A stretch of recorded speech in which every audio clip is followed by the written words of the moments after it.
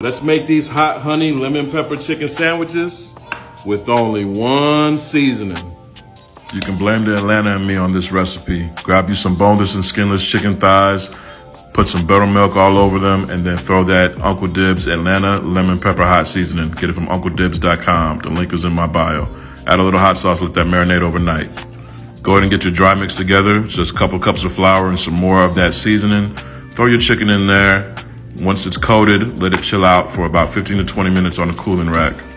The chicken thighs do not take long to fry, no more than 10 minutes or an internal temperature of 165. Now it's about the sauce. All it is is melted butter, honey, hot sauce, and some more of that Uncle Dibbz Atlanta lemon pepper hot seasoning. Throw that all over your chicken, toss it, and then go ahead and assemble your chicken sandwiches, y'all.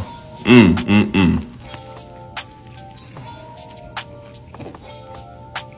That's good, shorty.